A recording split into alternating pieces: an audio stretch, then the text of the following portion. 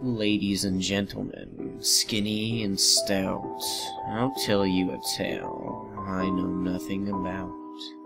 The admission is free, so pay at the door. Now pull up a chair and sit on the floor. One bright day, in the middle of the night, two dead boys got up to fight.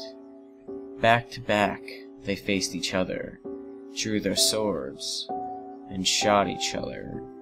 A blind man came to watch fair play. A mute man came to shout hooray.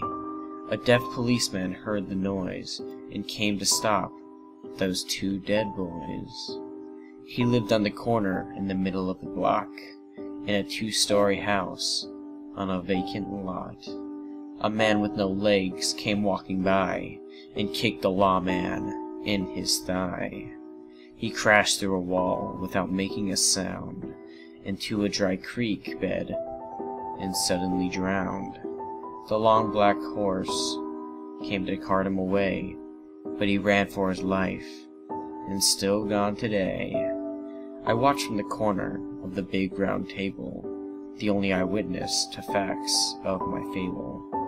But if you doubt that my lies are true, just ask the blind man. he saw it too.